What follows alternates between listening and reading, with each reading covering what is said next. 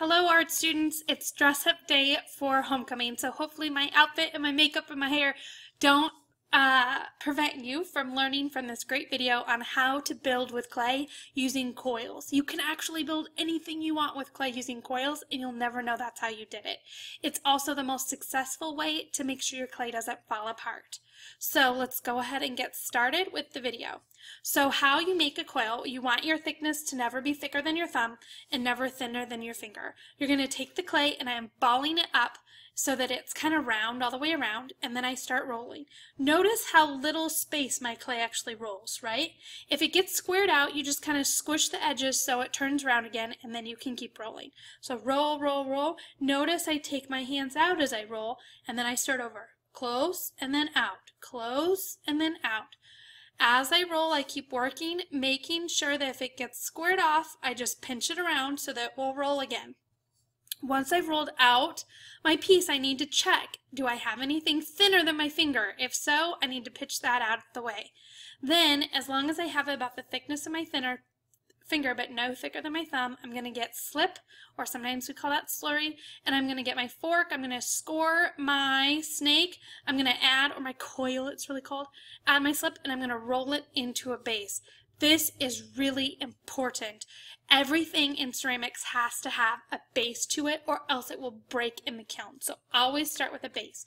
Then you'll notice your coils don't have to stay rough. See how I used the back of the fork? Let's rewind a little bit so you can see.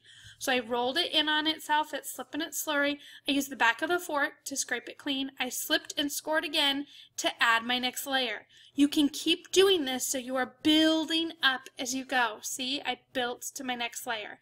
Now, uh, ooh, let's rewind. I want you to see that again. Oh, got lost track. Oh, that's okay. We'll start it over. So I am slipping, scoring, slipping, scoring, rolling around to get my base.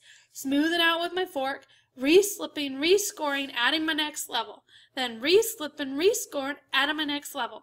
Then I might not like those coils, so watch how I'm going to score the side, and then I'm going to smooth it with the knife. So I score it, and then I smooth it, okay?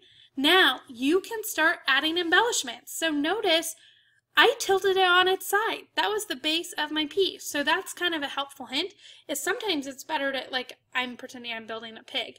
It's better to build it upwards and then tilt it, right, to get the look that you're wanting. Any embellishments that you add, just make sure you always slip and score and no thicker than your thumb. If you make the clay thicker than your thumb, it will explode in the kiln.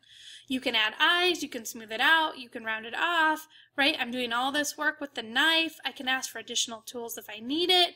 And I only did one eye and a snout and one ear so you could kind of get a sense of what it looked like.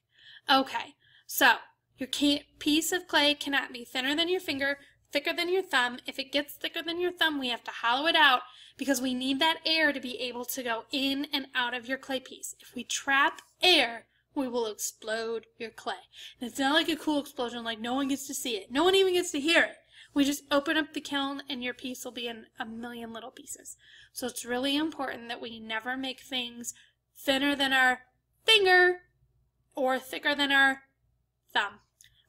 Enjoy happy art making using the coil method.